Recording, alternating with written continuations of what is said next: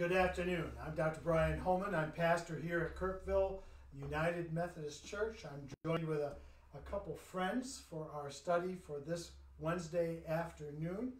And uh, we apologize for the quality of the sound or lack of quality of the sound from last week's broadcast. We had some a little bit of difficulty. You could still hear it and still follow it, but it just wasn't comfortable. We hope that we've worked out those bugs and that uh, you can hear us clearly and, and see us clearly and follow along with us. Today, what we're doing um, is continuing the study that we began uh, the other week, which was on the resurrection appearances of Jesus. And so we looked at uh, uh those resurrection appearances as they were described in both Matthew, in Mark, and Luke, and a little bit of John. But today, we're going to be focusing particularly upon John's Gospel, and that is found in John chapter 20. We'll notice that there are similarities between the accounts of the resurrection, most, uh, most simil- similar uh, descriptions, uh, with a few uh, nuances or few differences um, that can be accounted for by uh, memory, um, by intention, uh, particularly with intention each gospel writer had a particular audience which they were writing to. And so that also went to shape uh, what uh, the descriptions of the resurrection that they wanted to provide. So also with the Gospel of John. Uh, this is the Gospel of John is written later than Matthew, Mark, or Luke. It is uh, supposedly by tradition that uh, we would expect that the, the uh, John is the apostle uh, who was a young man when he walked along with Jesus, but that now, um, at the writing of this, he was in his late 80s or even early 90s.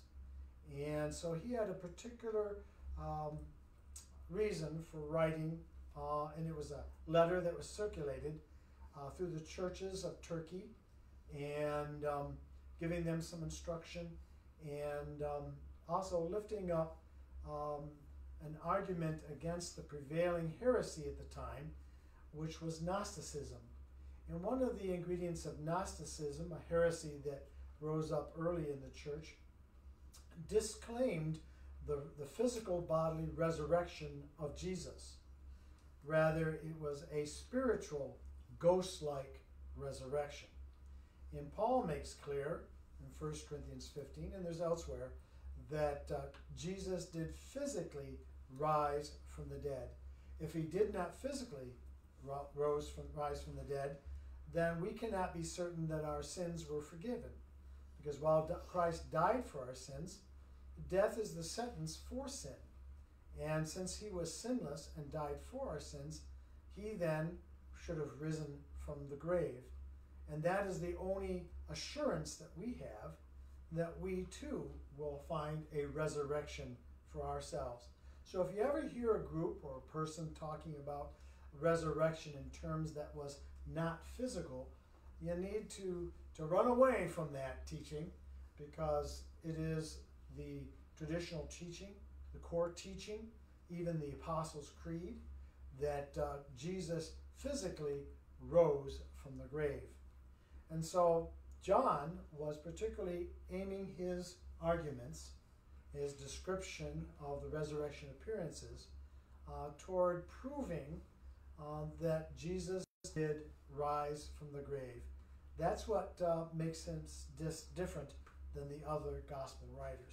So we begin now with chapter 20 of uh, John, uh, the Gospel of John. And I'll begin and I'll have one of my partners interrupt and, and read uh, where I leave off. Early on the first day of the week, while it was still dark, Mary Magdalene went to the tomb and saw the stone had been removed from the entrance.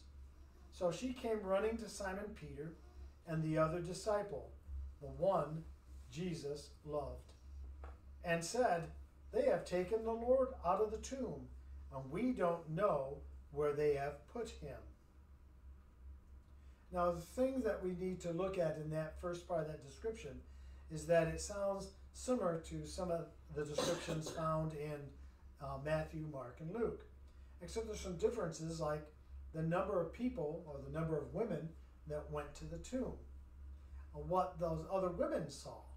And this is focused basically upon Mary Magdalene. And though it says that she went to the tomb, uh, it doesn't mean that she went to the tomb alone.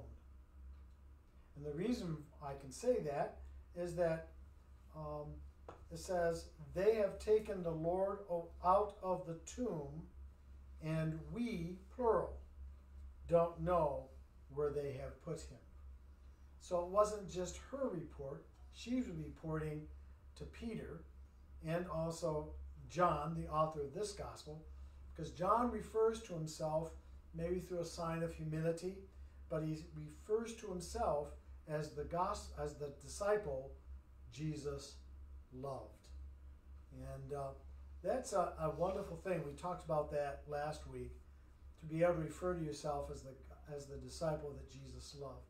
It doesn't mean that John felt that uh, he was loved more than the other disciples, but it's more of an expression of his own devotion for Jesus. He loved Jesus dearly. We find it the description of the Last Supper that it was John who was laying close to Jesus and even leaning on Jesus. John was part of the inner circle.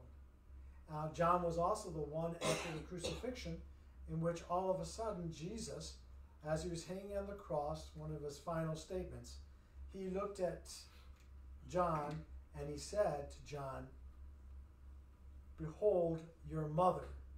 And to then his mother, he said, Behold your son. He was then conveying to John the responsibility of caring for his mom. We find that tradition has that, that John did just that. After he fled from Jerusalem, from the persecution there, he went to Ephesus. He became the leader, the overseer of the churches in Asia. And so, what he did is he took up his residence in Ephesus. He took Mary, we believe, with him. There is in Ephesus to this day a, a cathedral, a small cathedral or small church that is named after Mary. It is believed that that's where she lived out the rest of her life and where she also died. So that's the reason why John calls himself, you know, the beloved one that, that Jesus loved. But we also see that Mary was not the only one to witness the empty tomb. The others ran off, they were afraid, and, and they also eventually went and told other disciples because the disciples were not all in one place at first and then later did come together. So that's the explanation behind that. But they have taken the Lord out of the tomb, and we don't know where they have put him. So she did not realize that he had been risen from the grave, only that someone had removed his body. Any questions from the group that's with me that uh, regarding that description of those few verses? Charlie, how about if you would read um, up until verse 9, starting with verse 3. Peter, Peter and the other disciple left to go to the tomb. They were running together, but the other disciple ran faster than Peter and was the first to arrive at the tomb. Bending down to take a look, he saw the linen cloths lying there, but he didn't go in. He also saw the face cloth that had been on Jesus' head. It wasn't with the other clothes, but was folded up in its own place. The other disciple, the one who arrived at the tomb first, also went inside. He saw and believed. They didn't yet understand the scripture that Jesus must rise from the dead. The disciples returned to the place where they were staying. So we find their description. I remember on Easter Sunday morning, I sang a song uh, that was that description of Mary coming to Peter. Uh, was written by Don Francisco, and uh, described how Peter ran to the tomb and John ran ahead.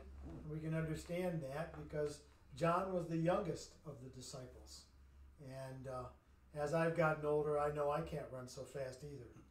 But uh, the detail of this also gives us reason to have confidence in the truthfulness of the description. Detail is given. Mary came. Body's missing. We don't know where they have taken him. She didn't realize that it was resurrection. The other women stayed at the tomb frightened, and they had an encounter, so the other gospel, uh, gospel writer said, with angels outside the tomb and went in and checked out the inside and had the message of the resurrection.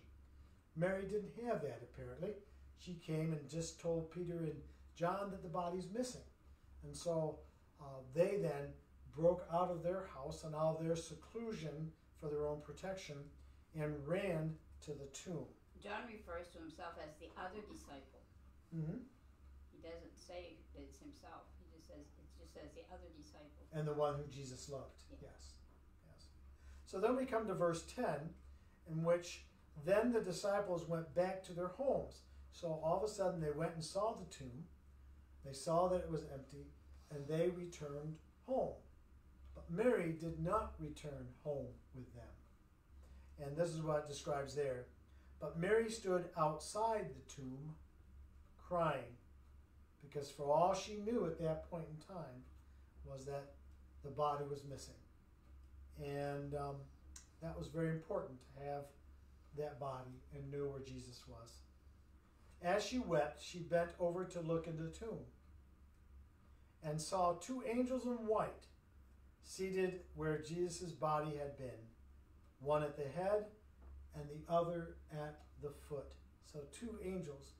I described for us yet last week how it is uh, by tradition, by law, that something cannot be proved legally unless there are, uh, it's based upon the testimony of two or three witnesses. So we find that there are two angels that are here. And um, so she wept. She saw the uh, the two angels, and then they asked her, "Woman, why are you crying?" They have taken my Lord away, she responded, and I don't know where they have put him. At this, she turned around and saw Jesus standing there, but she did not realize that it was Jesus. So you find that Mary sees two angels, maybe not even recognizing them as angels, and, and they ask, Why are you crying? They don't really give her an answer. Instead, uh, she she turns around and sees Jesus, but she didn't realize it was Jesus. Now we have to ask ourselves the question: What prevented Mary from realizing that it was Jesus that was standing before her? Well, one thing is she didn't expect to see him there, so when she saw a person there, she wasn't even thinking about Jesus at the time. Okay. And we don't know whether his uh, figure had changed, you know, whether there was something different about him. Okay. But just the fact that he was, that he, she didn't expect to see him, Okay. then she didn't recognize him. Okay. So the first reason is that they didn't expect it. I mean, how many of us have been to a funeral, or how many of us have visited someone at the grave and were surprised to find uh, the person that died being there? It's just not something you go and expect, and so that's understandable. Uh, another aspect might have been her own grief. Uh, when you're in grief, you do not see clearly. I don't necessarily mean with your eyes, but you don't perceive clearly. Their eyes were probably clouded from the tears. Exactly. She was crying. That's the description had it. And so she was grieving. So that grief took up, uh, predominated in her thinking. And so then the lack of expectation. Uh, the third uh, understanding may be that Jesus appeared differently. Obviously, um, though they cleaned his body, they wrapped it hastily before placing it in the tomb, um, it would have borne the wounds and they were weeping wounds. It would not have been um, a very clean sight. And it's one reason why the women went back three days later after the Sabbath and such so they could better clean up and embalm the body as to their tradition. And what would he have been wearing? Because if she, you know, recognized him and thinking he was a gardener, so he must have been wearing something other than being what he left behind in the tomb. I mean, he took all the wrappings from around him, so they weren't there. Yep, And he so would have had his clothes that was gambled for by the by the guards. Um, so you know it is it is uh, a part of the mystery. Obviously, he was clothed in something. Obviously, it was clean. While we know he still had wounds, like he showed Thomas the wounds in his hand, offered him to see the scar on his side. They weren't weeping. They weren't bleeding. They were not, you know, they, um, uh, and he was clean. It was not the way they had left him. When he, they wouldn't have expected him to be in clothing that wasn't what they were accustomed to seeing him in.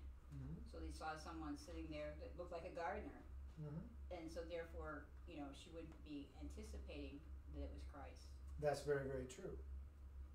So we find that there's a mystery there. We're not always supposed to know all the exact details. We don't need to know. The only thing that the gospel writers provide us uh, for their purposes uh, that God has called them to do is give us what we need to know. And that's important when we study the Word. Uh, woman, so this man said, why are you crying? Who is it you are looking for? And of course, Jesus would have known. Now, why do you think he asked her who you are looking for? Why didn't you just say, Mary, here I am. Don't cry. He wanted to see what she had to say. Yeah. Okay? You know, sometimes what she our was thinking. realization of divine truth is comes in a process. It's not like a snap. It's not like an all of a sudden, ah, it's an epiphany. I mean, there's certainly an epiphany here, but sometimes there's a process to our realizing the truth, and that's important for us to realize. And sometimes we got the Holy Spirit asks us questions, but they're rhetorical questions as far as what the Holy Spirit or God has, but they're they're asked in a rhetorical sense because it's important for us to be able to give the answer. Okay? That God thinks should have been obvious to us because it had already been foretold them that he would suffer, die, and rise on the third day. And so, sir, if you have carried him away, tell me where you have put him, and I will go get him. At that, he realized that she still didn't have that epiphany, that awareness of what had happened. And so he then says to her, calls her by name, Mary. As she turned toward him and cried out in Aramaic, Rabboni, which means teacher.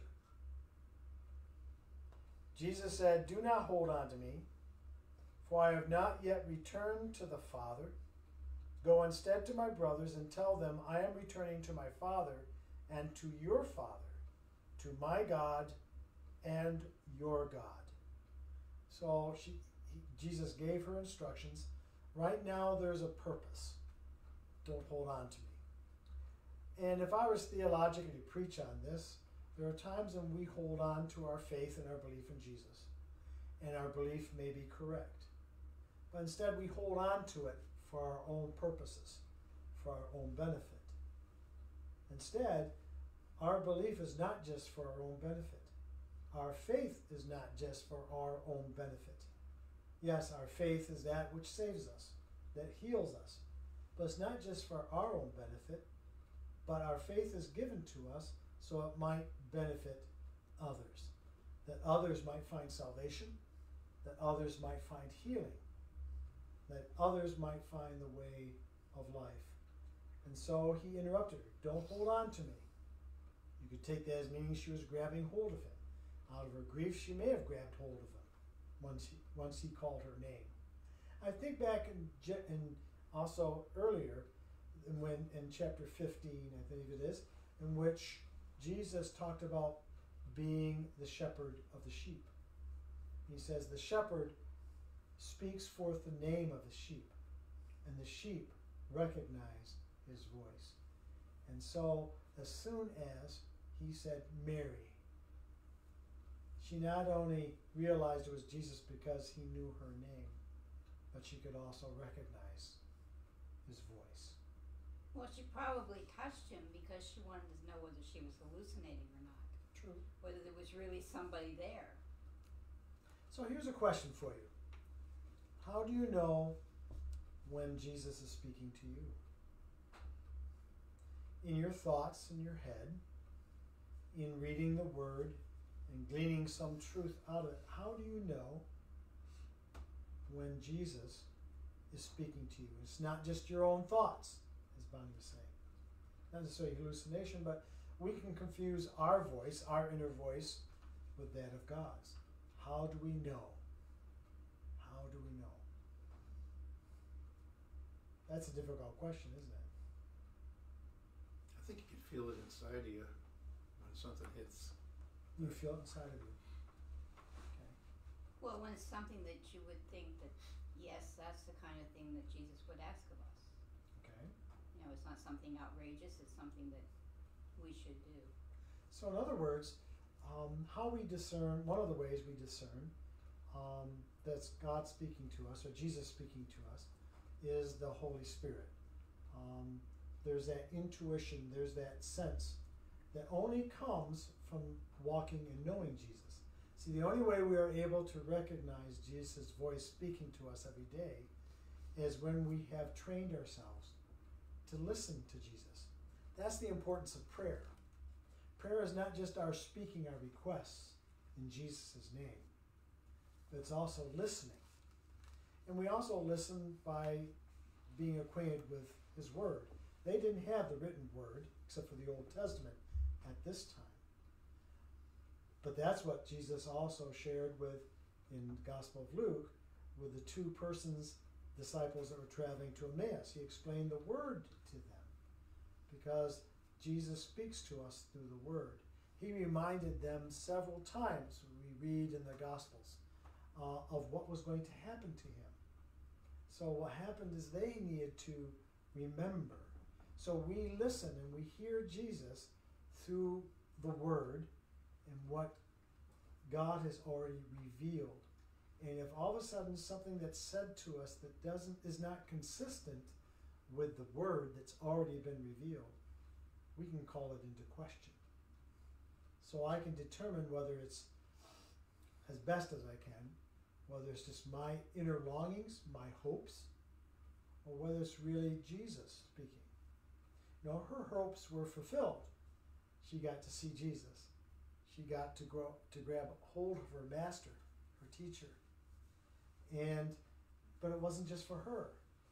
You gotta let me go. Because I got something for you to do. Go tell my disciples that I am returning to my Father and your Father, my God and your God. I love that expression. I am returning, not that I have returned.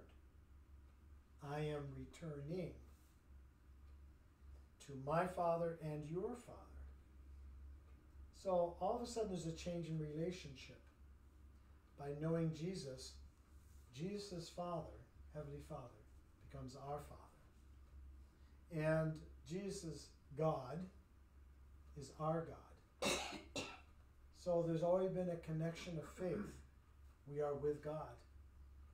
That which separated us from God, our sin, has been torn away and forgiven. And now we have access. God is our Father. Um, Jesus is our God. And so that's an important expression there. Mary Magdalene, so we know which Mary it is, went to the disciples with the news I have seen the Lord. Now it's not, I have seen the empty tomb. That's what she went and said first. The tomb was empty. They took his body. We don't know where it is. This time she came to them and said, I have seen the Lord. I haven't seen his body. I have seen the Lord. And she told them that she that he had said these things to her.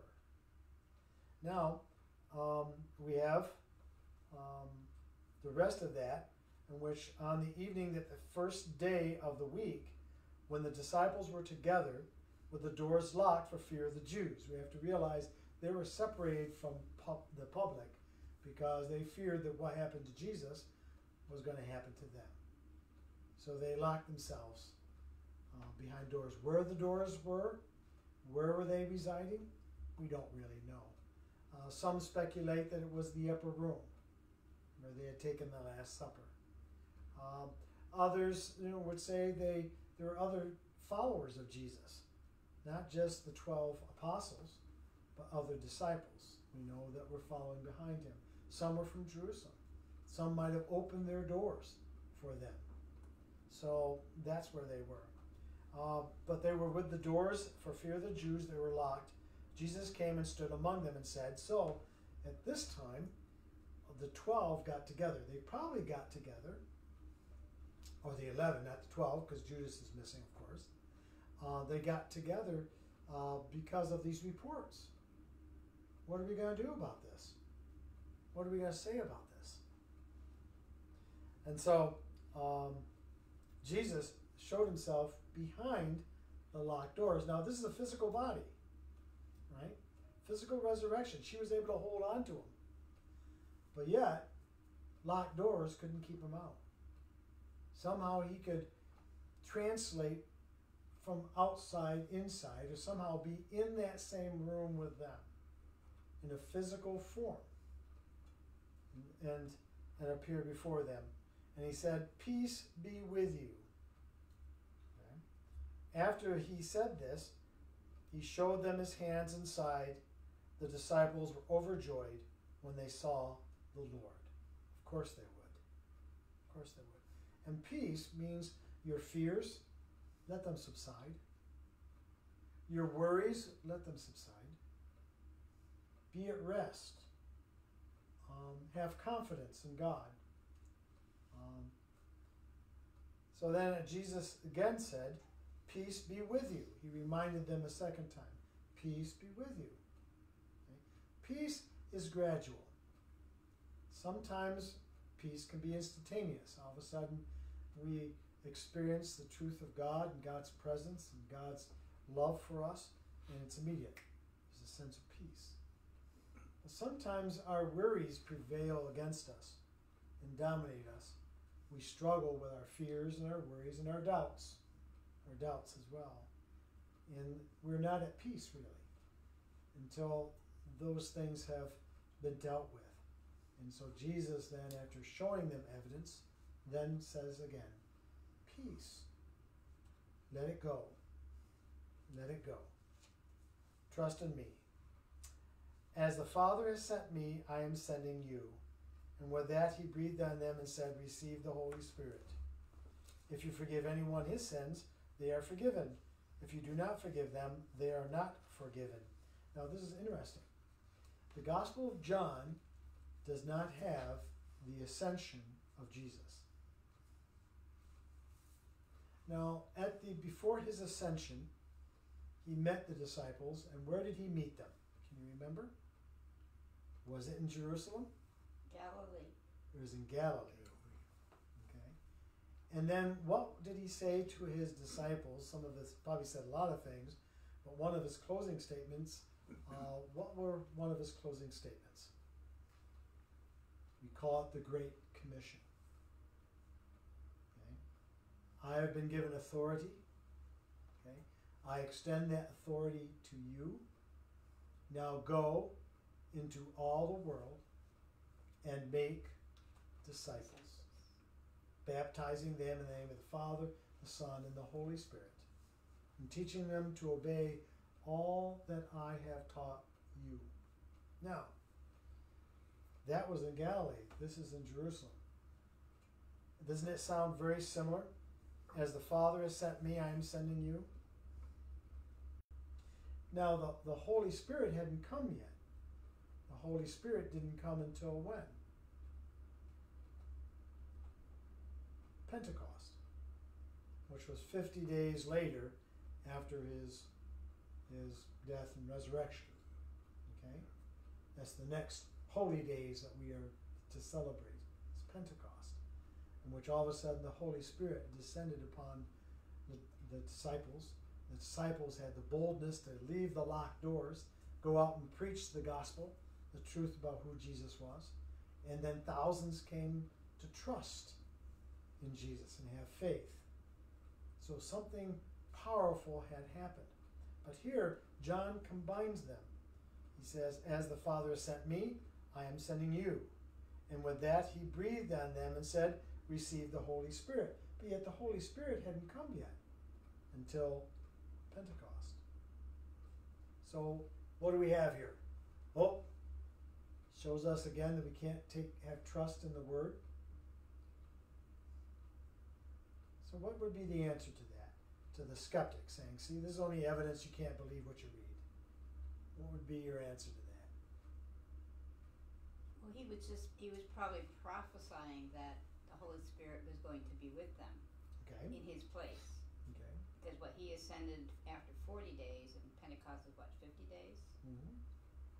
So, you know, it was coming, he knew it was coming, and he kind of commissioned them to accept the Holy Spirit.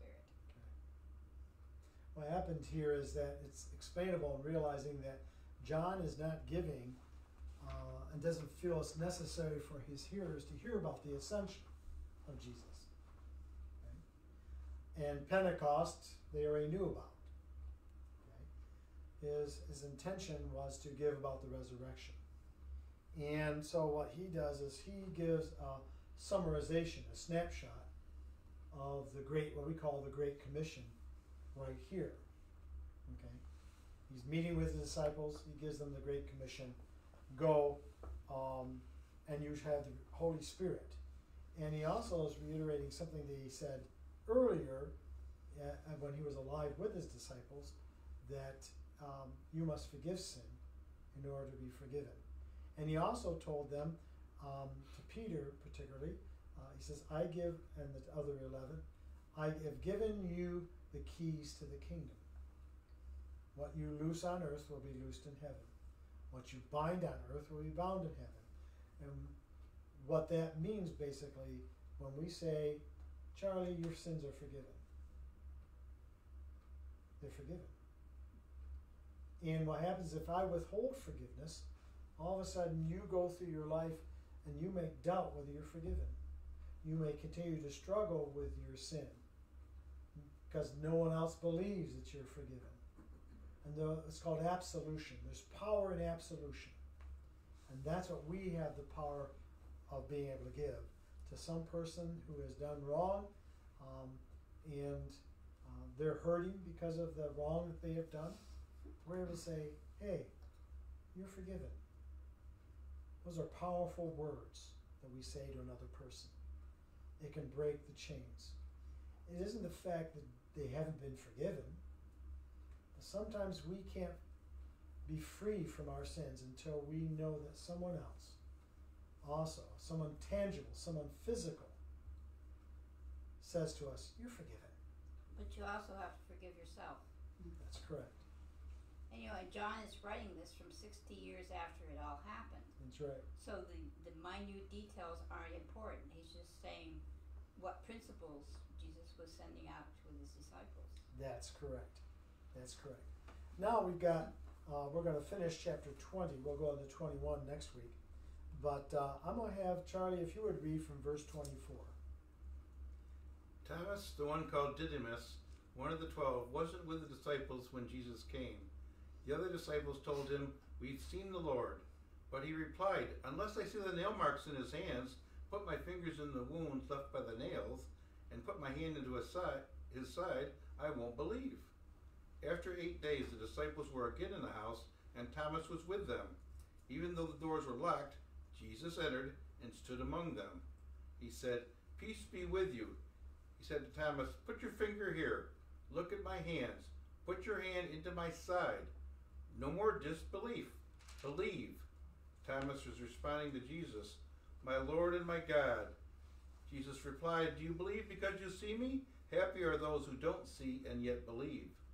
Jesus did many other miraculous signs in the disciples' presence, signs that aren't recorded in this scroll, but things are written so that you will believe that Jesus is the Christ, God's Son, believing you will have life in his name. John gives us his purpose for writing right there. His purpose was that so that you may believe that Jesus is the Christ, the Son of God, and that by believing you may have life in his name. That's the whole purpose of why he is writing this. At least one of the purposes, the major purpose of why he's writing this.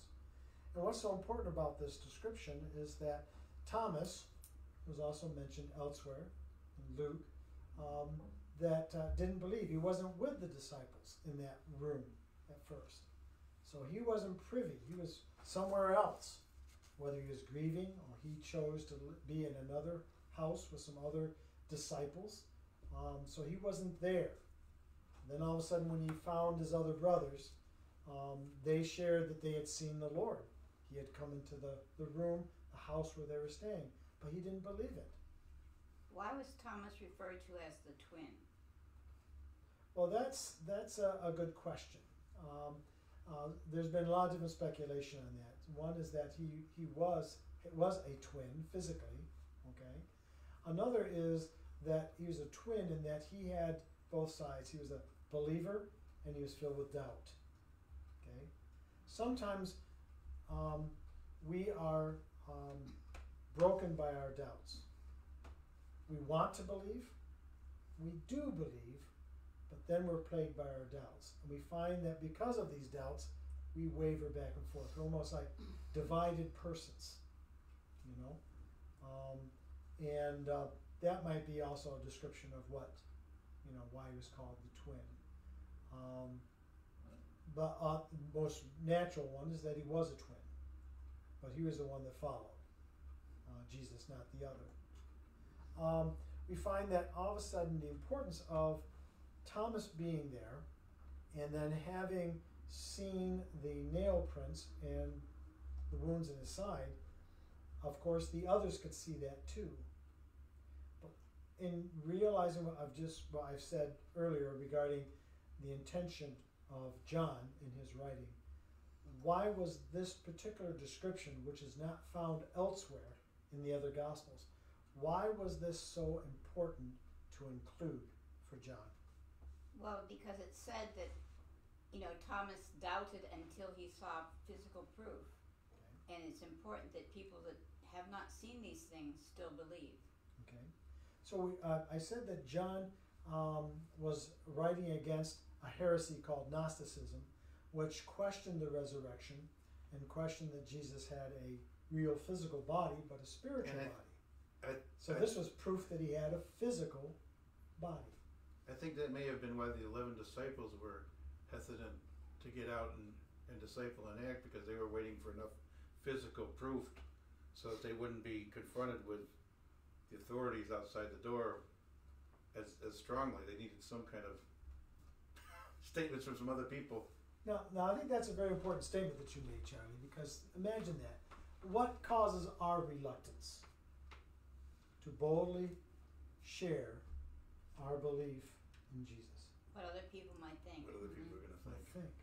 And because we have some doubts, we're duplicitous, just as Thomas the twin, um, duplicitous um, in our attitude or understanding. We, we want to believe, we believe, but we have doubts.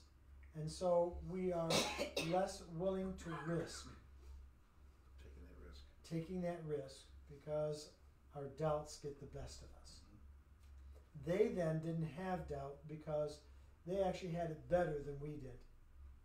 Because they have and saw They- the physical resurrection And they of had, Jesus. well, yeah, they had, they had his teachings beforehand, but they knew that outside that door was Mhm. uncertain. Uncertainty. And I think Thomas's experience probably enhanced the other disciples' experience too. hmm Because they may have had a little bit of doubt, but here was Thomas actually touching the wounds Yeah. and having it reinforced in his mind, and he accepted it. And some of the other people that might have been a little bit leery about what was going on, that kind of made it good for them too. You know, it's good for us when we see someone who has had great doubts and struggle with their faith. All, all of a sudden, in a transformative moment, um, give up their doubts And if they doubted, and their doubts were more pronounced than our own, but they believed, doesn't that give us more reassurance of the truth? You know, we hear stories of people who have um, fallen into great sin, but then we also hear their great transformation. Our transformation not, may not be as obvious, may not be as dramatic, but the but the wonderful blessing that we gain from those dramatic stories is that they reinforce to us in order for this change to have happened, this has to be true. So that's why it's important. Now, what's also important, he says to Thomas, no, Thomas comes back and says, My Lord and my God. My Lord and my God, you're real. Right? Then Jesus tells him, and this is not just for him. This was not just for the disciples at this time. This is for you and me. He says, Because you have seen me, you have believed. Blessed are those who have not seen and yet have believed. John was writing an audience that was 60 years, you know, away from the resurrection. Okay? And they didn't see the physical resurrection but they believed. Do you think they had doubts at times? And he said, Blessed are those who have not seen and yet believe. Now, that also speaks to you and me because I haven't seen, and I don't think you have um, ever seen the resurrected Jesus Christ. But yet we believe. Blessed are we when we believe, even though we haven't seen. Faith is not sight? It's insight, but not necessarily sight. And you and I have to make the decision to believe based on the witness and the evidences that we are given. And that needs to be enough. And the, the further proof of that resurrection is the Holy Spirit. That's why he says he breathed on them he said, Receive the Holy Spirit. That means they had a choice to receive the Holy Spirit or not receive the Holy Spirit. And you and I have the choice to believe and to receive the Holy Spirit. We choose to believe or not believe. In the midst of our doubts, and most of us, if we're honest, we will admit that we have doubts on different things of faith. We have doubts. But we have a choice. I'm going to believe or I'm not going to believe. It's not automatic. We choose to believe. And if we believe, then we can also believe Jesus' promise, receive the Holy Spirit. And when we receive the Holy Spirit, I choose to receive the Holy Spirit, meaning I believe that Jesus can, can communicate to me right now as clearly and discernibly be present in my life as he was with those disciples. That's a real challenge. Do we believe? You know, repeatedly in this description, there was Jesus saying, Peace be with you. So we have the choice of whether we're going to be at peace. We will only be at peace when we say when we choose to believe. We will only be at peace when we choose to receive the Holy Spirit, that inner confirmation that Jesus calls us by name, that Jesus is alive and real.